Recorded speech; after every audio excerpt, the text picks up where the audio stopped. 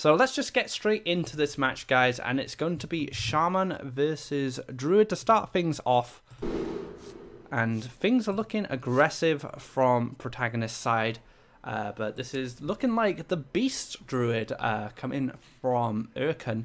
Now, Beast Druid was a deck that was submitted and used by both Chaki and Admirable in the Americas preliminaries, and those two guys uh, didn't get into the top 16 uh, I've played this deck a few times myself. I, I was very curious on how it performed. And I, I felt it was just a little lackluster, in my opinion. But we'll see how these guys handle the deck, and let's see if Ercan can make some use out of it.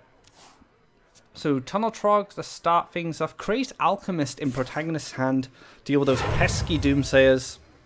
Another night on the prowl. But just a Druid of the Saber going to start things off in the stealth mode to clear up that Trog. Flame Juggler, and the one damage is tanked by the Druid of the Saber, which is good for Ercan because that means.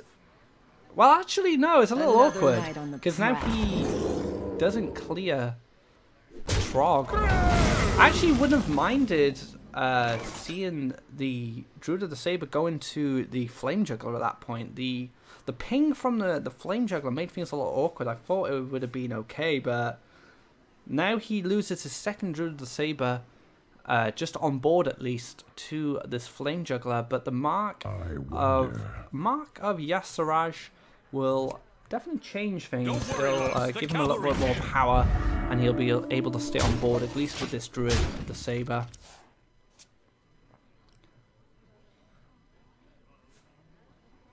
Wow, gonna go for wild growth instead. That's that's curious.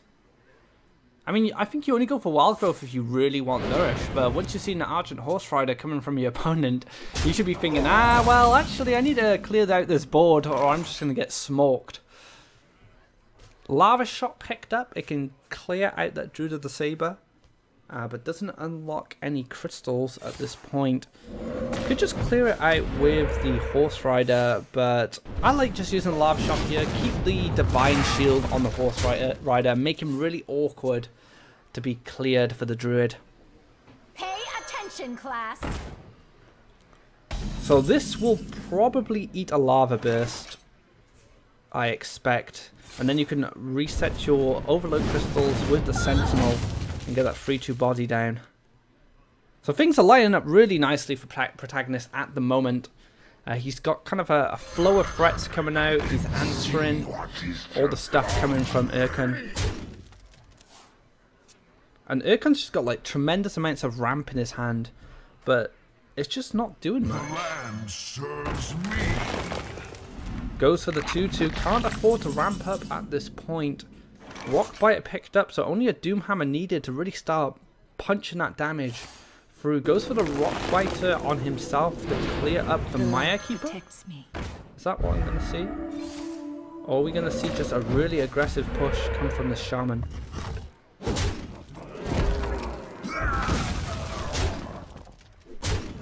Yeah, I, I, was thinking then he might go for the slime clear with the Argent Horse Rider, but I wouldn't have liked it. Just keep those Divine Shields up. Uh, swipe going to come down. Wrath is going to dispatch of the 2-1 and then 2-2 will finish off the spell power to him. So afraid of lava burst. He's already seen one, one, so it's not unreasonable fear. So this could be the point of the match where Ercan stabilizes because protagonist is not exactly drawing the steam he needs to keep this aggro train going. Uh, Earth Shock will make things a little easier when he wants to punch damage through, but he just doesn't have the damage on board right now. And the board is going to be cleared by Ercan. And yeah, things are looking a little shaky for protagonist. So not a bad pickup there, can uh, cycle two cards. See if you can find something Keep him going. Ah, they are not the right answers. Might just have to go up for totem and pass at this point.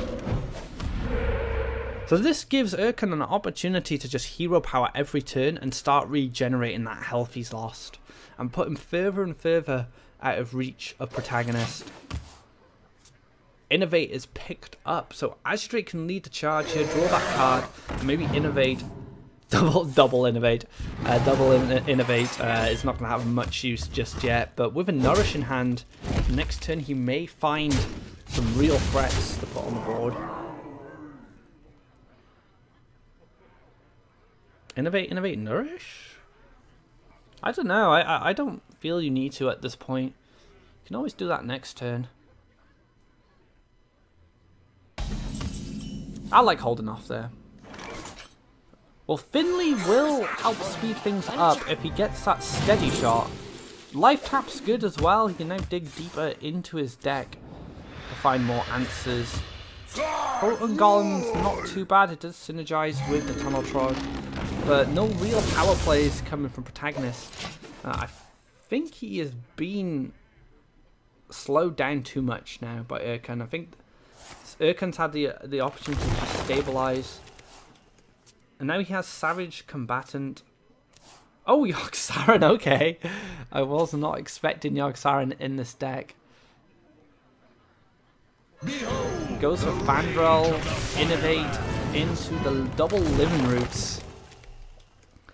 Make it all the 1-1s. Gets the spell power buff from the Antidrake as well. Yeah, I, I feel Protagonist is just too far gone. There's a lot of power on Ercan's board. Innervate again? I, I don't see the point. Ah, that is not a good pickup. Can go for the tap here to try and find something. Doomhammer picked up. Earthshock could clear, well, the Tord from the Druid of the Claw, but there's way too much power on board. Ercan is going to take game number one. So not a bad start there from Ercan, uh, taking a, a very dominating lead. So he's he managed to stabilize at a certain point in the game, and the draws from protagonists just were just too lackluster. They just had no impact. And once those decks stabilize against aggro decks, and you don't get those draws you need to push that extra bit of damage, it can be very hard for aggro decks to get back in that game. And uh, the Druid of the Claw had a, a big impact. Uh, the Earthshock could have dealt with it, but unfortunately the Earthshock just wasn't enough. There just wasn't enough damage on board. But next game is up. Ercan with that 1-0 lead going into the mid-range Hunter which we saw piloted to success by Lion last game. And Shaman being queued up once again by protagonist. Um, protagonist.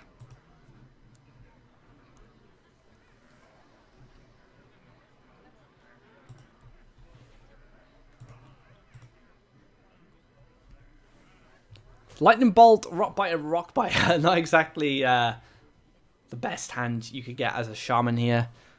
Uh, things are looking not too great for Ercan either. Eaglehorn Bow would probably be the only keep I'd have in this situation. Uh, against Shaman, it clears up Flame Jugglers, it clears up Tunnel Trogs, so it has a lot of use, and there's only one index at the moment for these Hunter lists. So I'm happy. I'd be happy with Mulligan and everything, but the eagle horn. Wow, it's a full keep from Ercan. Okay. Not sure how much use Unleash the Hounds will I get against maybe the more aggressive variations of Shaman. The totem ones tend to develop the board more. Well, let's see. So, Totem Golem picked up. Coin Deadly Shot will deal with this no problem at all. And then you'd have Eaglehorn Blow next turn, but Ercan's just going to go for the Steady Shot. And there we go, that is the evil hornbow target right there. And that is why you keep that card in this matchup. He still has to find an answer for the Totem Golem, but Infested Wolves will at least give him some pressure on board. Some very sticky pressure as well, because those spiders are going to be a nuisance. Oh, so that makes things a little awkward. So now we're going to probably see quick shot on the totem golem, clear it up with a bow, and then coin out the deadly shot, finish off that 7-7. It's not very damage efficient, but there's not much choice here from the hunter.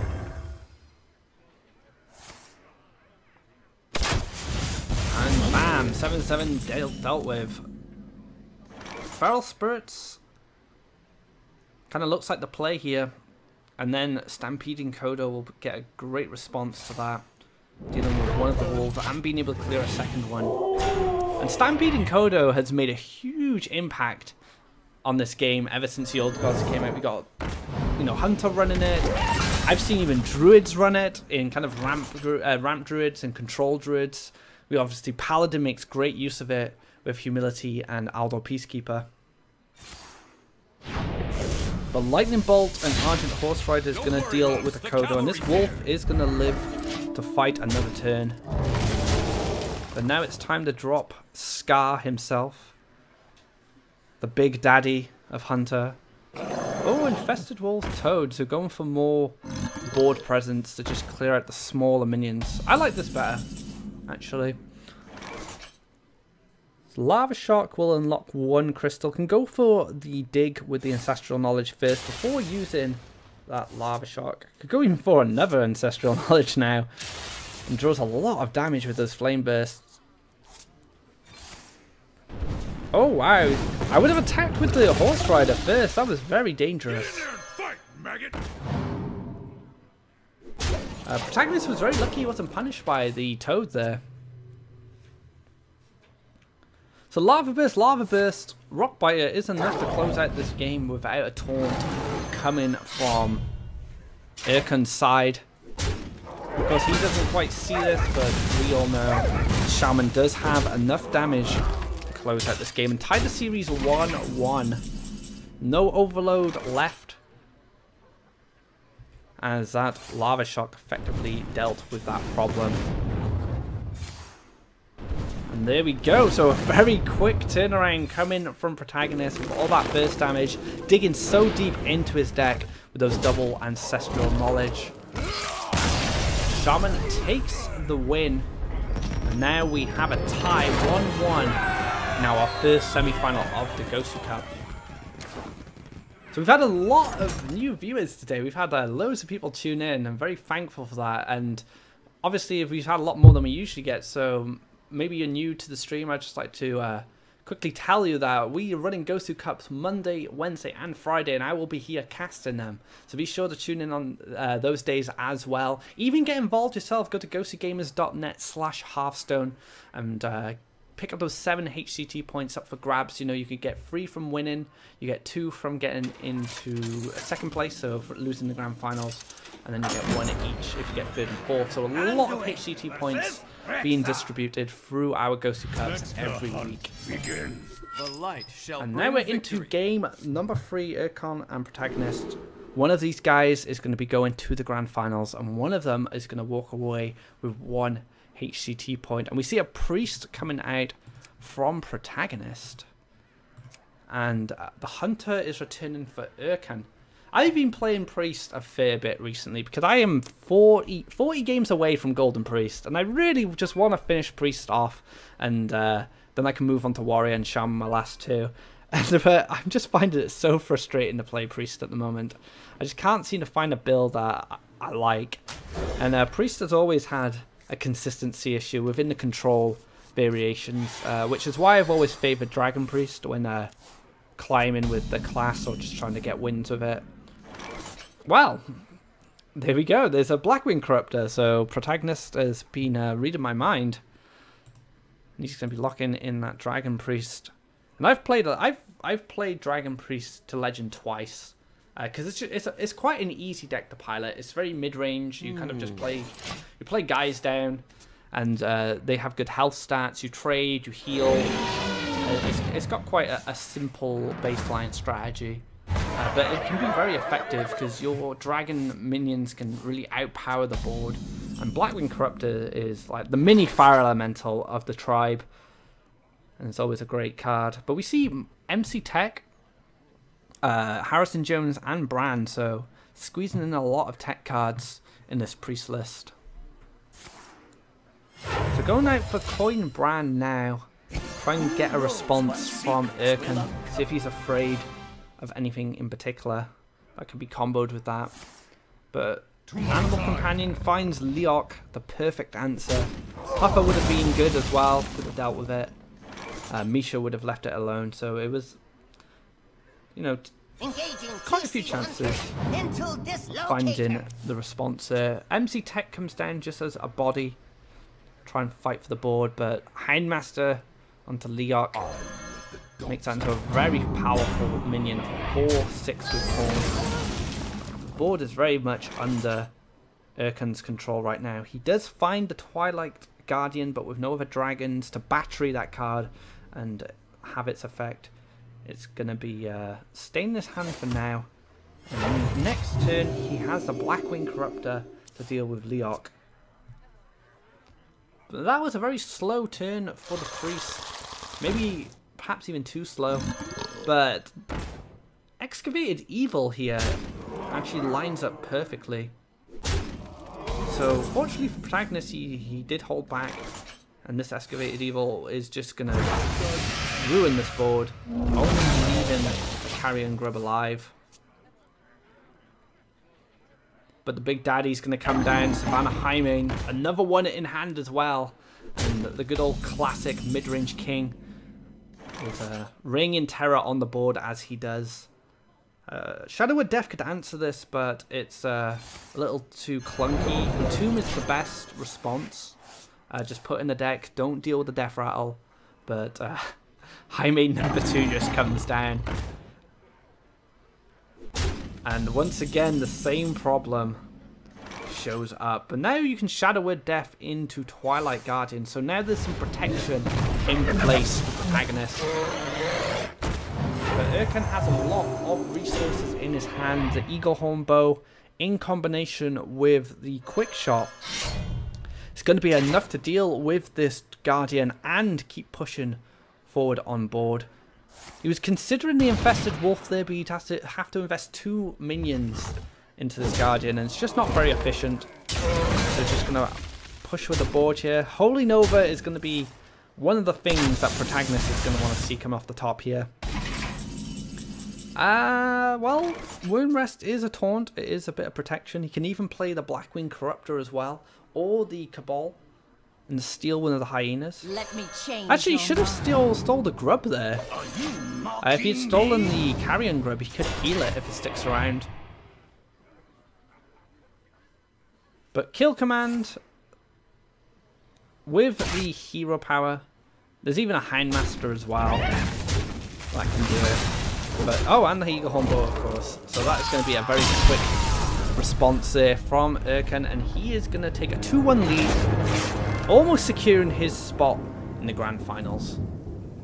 So very back and forth series so far from these players. Very fast games as well. Uh, last Friday, uh, when we had go the last Gosu Cup, it was such a control heavy meta game. There was just loads of control paladin. Uh, there was control warrior. Uh, we had a bit of priest too. Uh, lots of Reno Jackson Warlocks. So we had lots of very slow, drawn out games which were going to fatigue.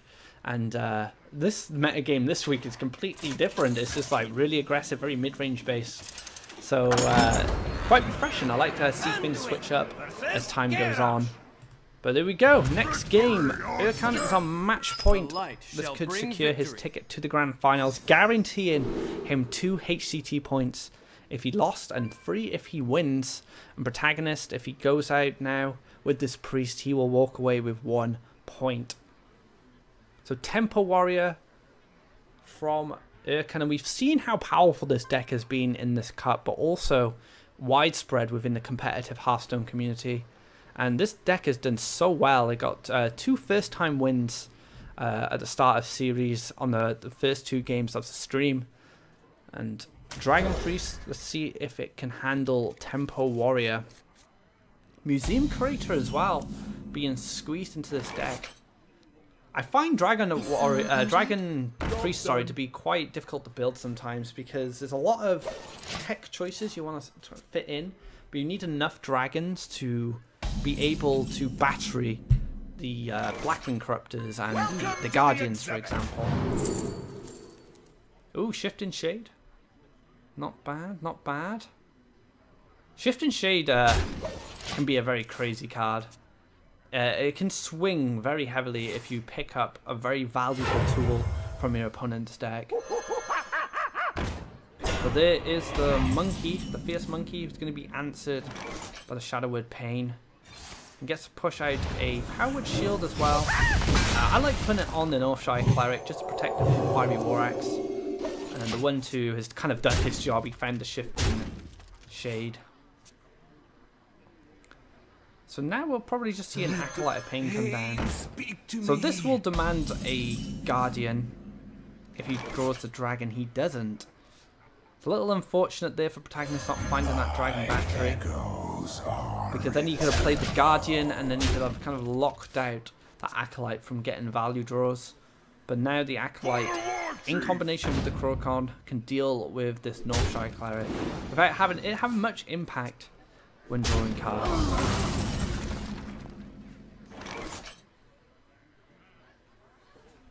I wield the power. Black. Blackwing Corruptor deals with the Kor'kron Elite very easily. And now, wow, so Protagonist is just pushing damage here. He is not concerned about the additional card draw that Acolyte of Pain will bring. He is going on the offensive. And this might be him knowing that he can steal it next turn with the Cabal Shadow Priest.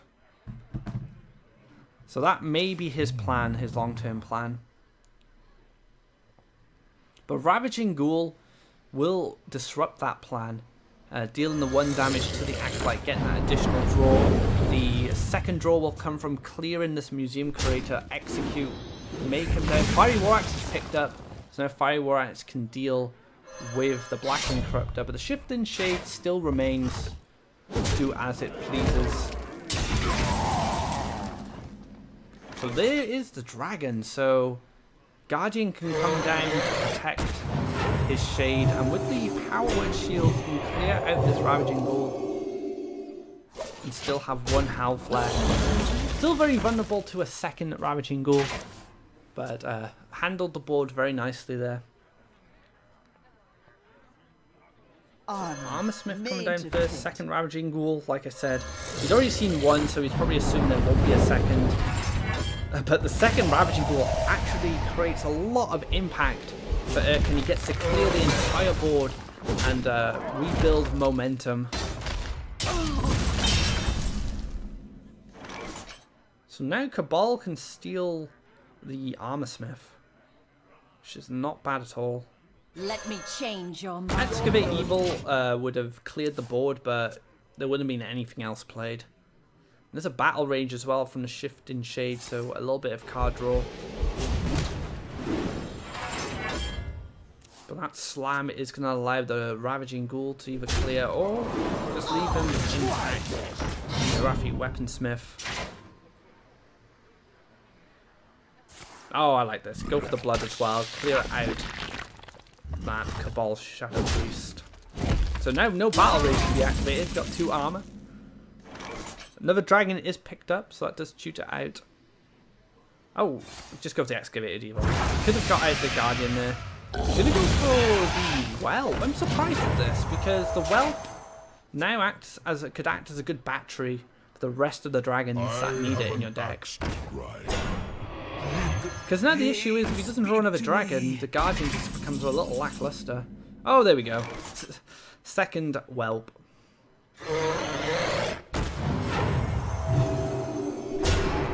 Goes for the attack for the one card Battle Rage. Gets the Wyrmrest. And he heals it back up. I like it. Get that Enrage off. Very well played from Protagonist here. Clever use of that lesser heal.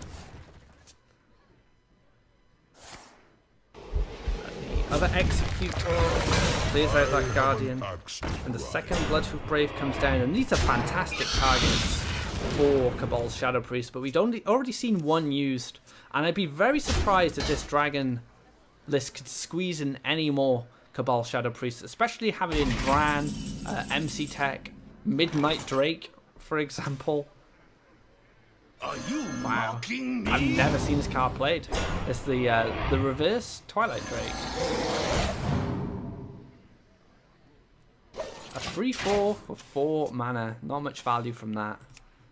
I admire the creativity coming from protagonist, but uh, unfortunately it isn't going to pay off. Armor made to fit. And no fear of light bomb anymore from priests. The board is overwhelmed.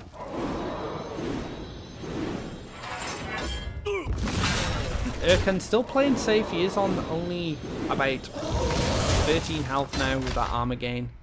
And just going to clear this board every time. Excavated Evil picked up off the top.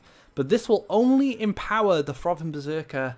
And it will give armor to Ercan. So, yeah, not the best thing he can do, really. Unless he entombs the Frothing this turn. Uh, heals up and prays. And then Excavate Evil next turn. Oh, I don't know. I don't like this. I will crush you. The power of this Frothing Berserker is going to be overwhelming. With Varian picked up off the top as well. Ercan can close out this game very easily now. I think Entomb was better in that situation simply because you can't allow a 12-1 from Berserker. And, and now he throws away his uh, Dragon Battery as well. So if he picked up Chillmaw next turn, uh, he won't be able to have its Death Rattle activation. Alright, Varian time. Daddy's home. Your skills are growing. And what has Daddy brought? Another Frothing Berserker? An Excavated Evil and a Blood. So, not much. Could have been a lot more threats coming from Barry in there. But how do you handle this board now as the Priest? And Brann picked up off the top. Can entomb the one. But that is not going to be enough. And Ercan is going to be able to take this series and go through to the Grand Finals.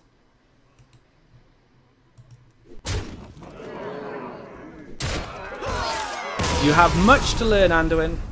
Your dad says so.